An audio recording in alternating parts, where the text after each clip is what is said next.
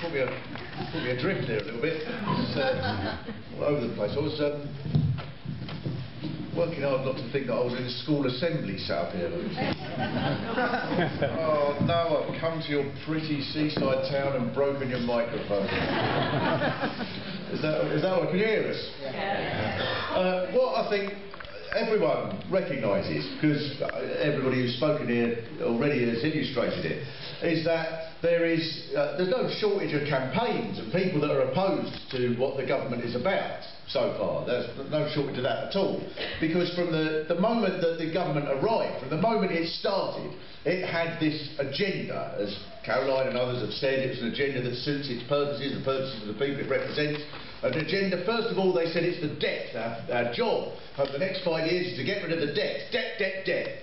And if you remember the first year or so of this government, almost every time they were asked the question about anything at all, they would give you this speech about this extraordinary amount of debt we were in. Never has a society been in so much debt, and they would reel out all of these statistics that would blind you to it, and you think, what have they just said? And they'd be saying things like, we are now in so much debt that we owe £50 for every insect in Britain, and that if the, if the deficit was a bee, it could sting the whole of Spain, and you would, and you would think, oh, well, we must be in this enormous amount of debt, I suppose. They keep saying it, and so then they, they gave up on that eventually, and they then said, and this is the agenda that they've got now, is that we have to get the money back. Now this is what the government's all about, all the things it does. We've got to get the money back, all this money that we owe. And so where are they going to get it back from? Obvious where they're going to get it, the poor. We're going to get it back from the poor. Because who's got all the money in society? The poor. I, I can imagine that... Uh,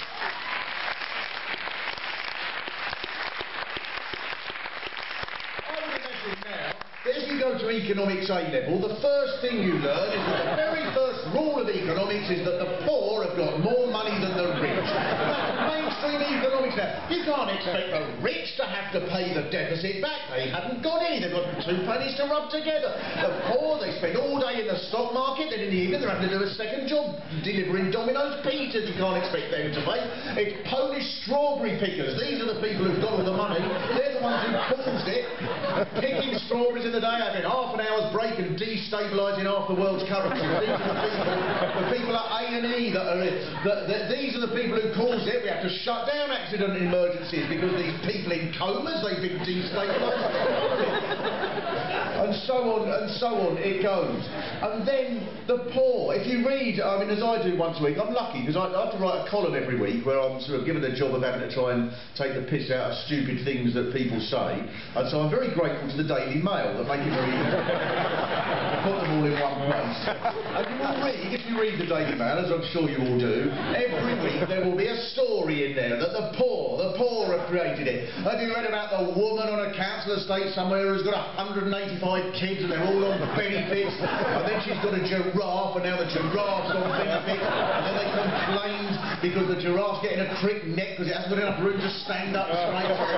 Put it up in St Paul's Cathedral. And now the kids have said they've got compulsive snooker syndrome so the town will built a snooker table for them. And the mother said she can't be referee because she's allergic to white gloves so the mayor has to come round and count all the points otherwise he'll be put in jail by Europe. That's what's happening.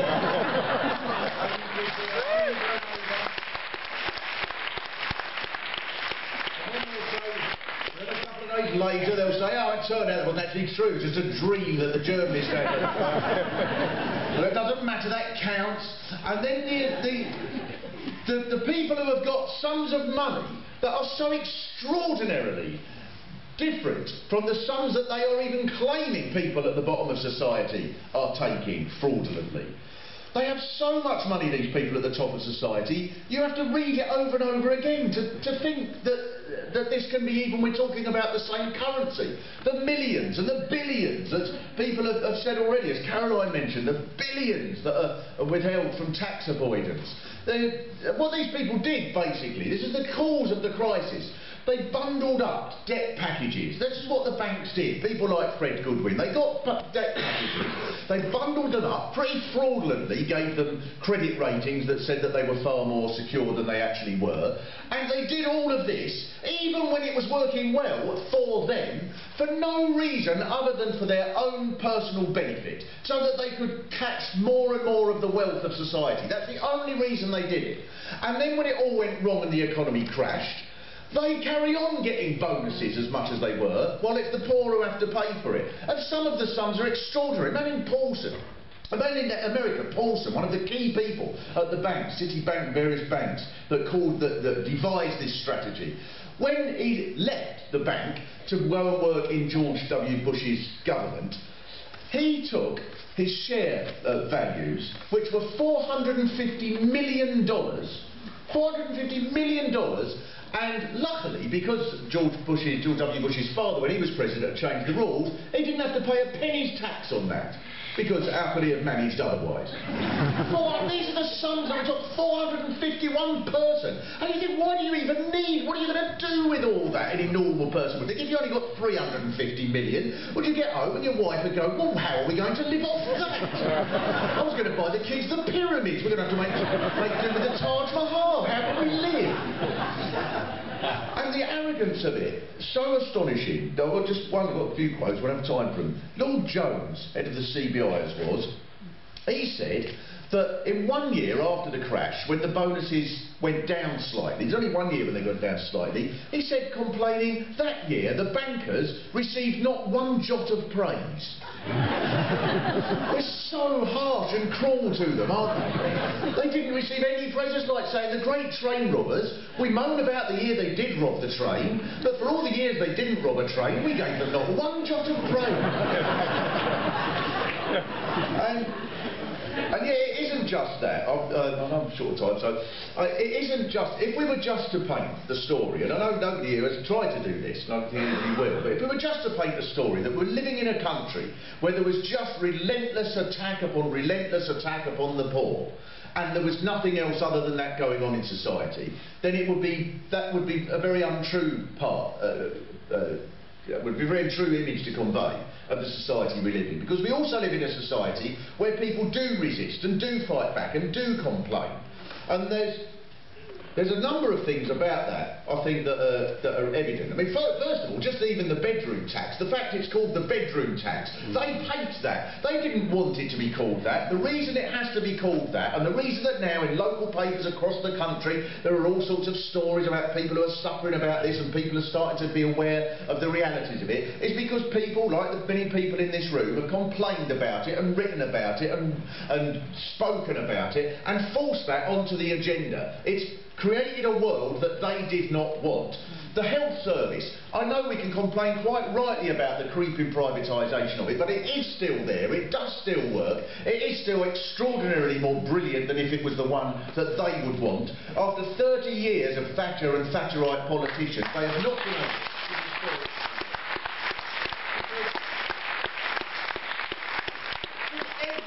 time they try to cut something or privatise something, there's a huge fuss and a march and letters and protests and placards, and that annoys them. And it, uh, even to resist and lose is better than to not resist at all. Even Thatcher herself. Thatcher herself, when the dear Baroness departed a few weeks ago, there's no doubt that it rocked, the, the, the reaction to it rocked the establishment, because the first few hours it looked at me, anyway, as if the way the media was going to present is they honestly assumed that the whole country would say, well, agree with her or disagree with her, you have to acknowledge that she is an extraordinary woman who changed the politics and she was a conviction politician and so on, and clearly that was not the case. clearly it became evident to even the media that the reason millions of people despised her was not because they disagreed with her, but because she'd ruined their lives, which is very different. In fact, I remember at the time thinking the people I felt sorry for that day were the Jehovah's Witnesses, really, because it must have been very confusing for them. They'd have been knocking on doors saying, have you heard the good news? And people going, oh, nothing.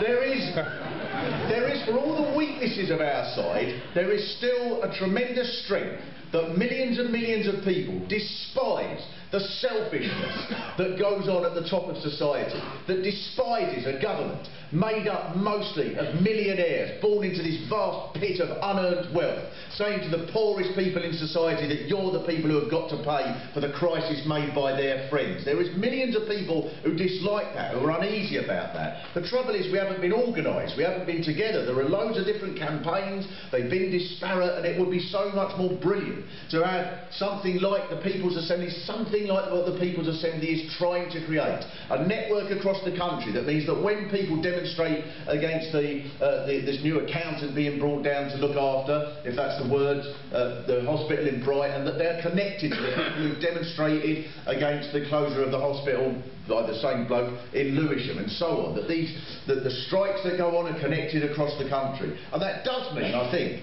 that we're going to have to, just two things, two things I'll finish on. We do have to recognise, I think, that this is going to, we're if we're going to be successful, it's going to be a new sort of campaign, a new sort of movement, a movement that I think looks like it is going to, to attract people because it is going to unite people across very different sorts of ideas. You can be a, a, an activist in the People's Assembly if you are in any party or no party, you can support the Labour Party or the Green Party or not support them. That doesn't matter if you're against the terrible injustices and inequality that is being dished out daily by the people at the top of society, then that is sufficient. We have to recognise, after all, I'm sure many of us uh, here have been in parties of the left in the past, that if we're to be ruthlessly harsh, didn't all turn out as well as people might have hoped.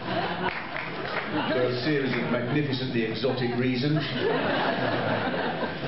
but we're going to have to learn to listen to each other. We're going to have to learn to accept that yeah, we might support an idea like a 24-hour general strike. That's fine. We can argue for that. But if people don't feel that that's the way we want to go forward, then that's fine. We don't want to make people feel unwelcome because they don't agree with that.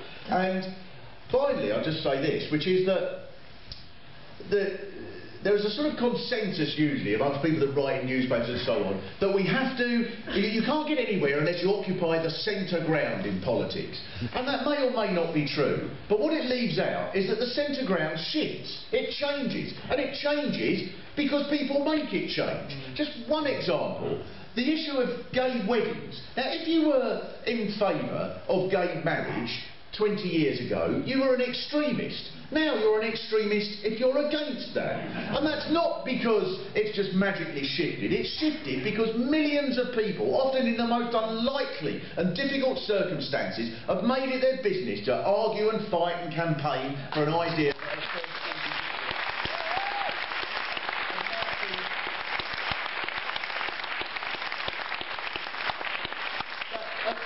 ridiculous and now seems ridiculous to oppose. And so it is with so many other ideas as well. And they try to present a consensus that, of course, we have to accept there is this massive deficit and we've got to cut benefits and the poor have got to accept their housing benefits have got to be cut and all that sort of thing as if there's a consensus. But there isn't a consensus. And we can, and I think that several thousands of people, that's not a sort of magically lefty, sort of trumped up number, there's several thousands of people already who have come to the meetings and have pledged support for the People's Assembly, I think is the beginning of a movement that can attract a vast number of people, that can do whatever it is, people whatever they can. Be aware that whatever you do, something is better than nothing. If you can go on a demonstration or organise a meeting, fine. If all you want to do is write a letter complaining to the local paper, that is better than nothing. An army of people, under whatever uh, name we call it, let's say it's the People's Assembly, that across the country brings together all those people and presents a different sets of ideas,